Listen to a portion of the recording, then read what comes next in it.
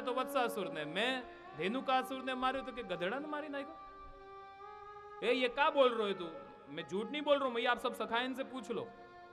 बेचारो दुबलो पतलो सो हमारे बीच में भी नहीं आए वो दूर से वहाँ जा रहा था वाको मार दियो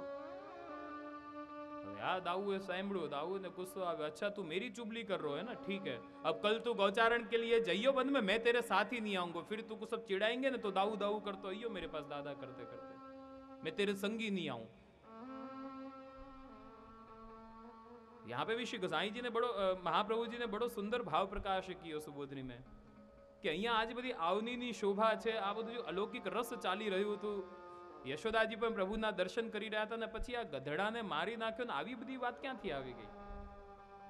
તો શ્રી મહાપ્રભુજી બતાવ્યું કે એમાં પ્રભુનું જે કાર્ય છે કે બીજું કાર્ય પણ સંપાદિત કરવાનું છે કે જે યમુનાજીમાં વિષેલો જે હા, જે કાળીયો નાગ છે એનો ઉદ્ધાર કરવાનો છે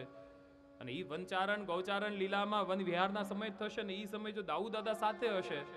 તો આપ શેષા અવતાર છે ને ઓલો કાલી એમની શરણમાં આવી જશે, તો એનું મર્દન કઈ રીતે થાય? એટલા માટે અહીંયા યુક્તિ કરીને દાઉએ શું કીધું? હું તારી સાથે કાલે નહીં આવું.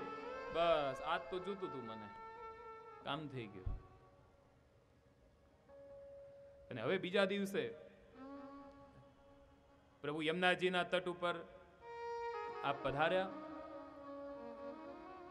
અને પછી સહજ ભાવથી સખાઓ સાથે आप रमवा लागे અને खेली खेल में गेंद जल में गई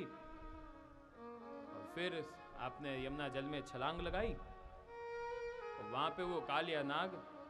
वो सो रहे तो अब नाग पत्नी आई ठाकुर जी के सुंदर स्वरूप को देखो विनती करी કે ભૈયા હે, પ્રભુ આપ यहाँ से પધાર જાઓ હમણાં ઈ જાગશે તો પછી આપને છોડશે નહીં